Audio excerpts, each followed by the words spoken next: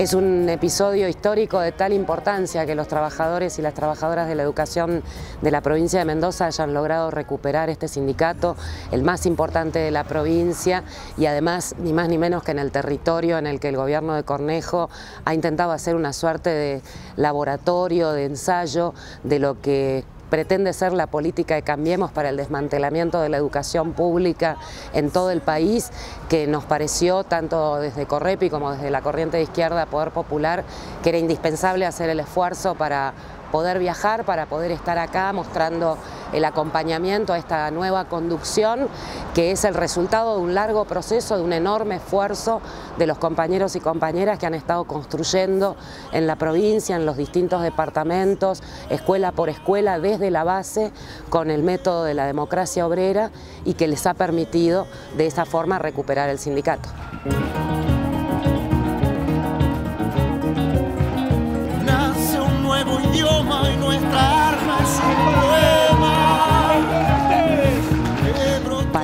Nosotros es importantísimo poder contar con cada vez más espacios recuperados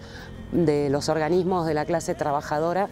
porque tanto desde el punto de vista de la pelea contra la represión como de la pelea contra el ajuste, si no la damos parejo en todos los distintos frentes de lucha, en el sindical, en el político partidario, en el antirrepresivo, en el territorio, en lo cultural, en géneros, con la juventud, eh, es imposible que podamos pensar en un horizonte diferente para el futuro. Somos la carne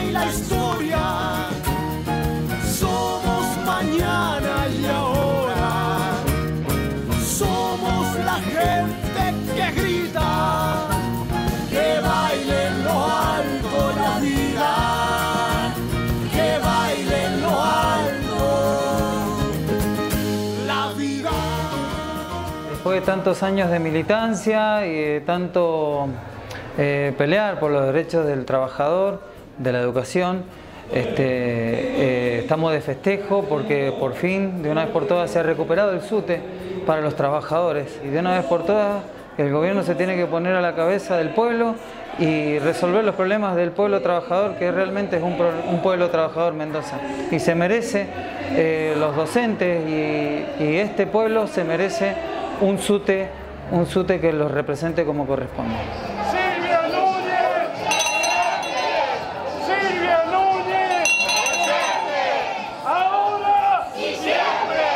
Ahora y siempre. Esta tarde me he convocado para venir a festejar el triunfo de la recuperación de nuestro sindicato. Un sindicato para todos y para todas. En realidad me sumé porque la única forma que había de recuperar el sindicato era trabajando, y se ganaron las elecciones, por suerte, y creo que había que recuperarlo porque no estaba haciendo para todos el sindicato, no se estaban oyendo todas las voces. Algo grande van a ser,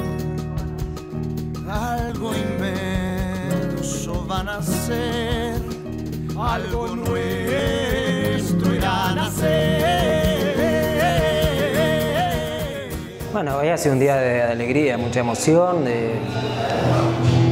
muchas sensaciones encontradas por los compañeros y compañeras que no están, pero también la alegría de todos los compañeros y compañeras que hace años que vienen peleando por esto y que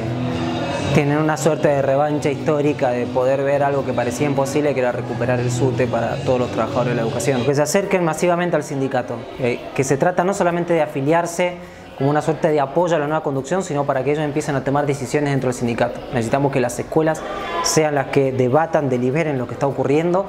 y que pongamos al sindicato a la altura del debate público que hay hoy sobre la educación, que salgamos a defender la escuela pública entre todos y a mostrar que los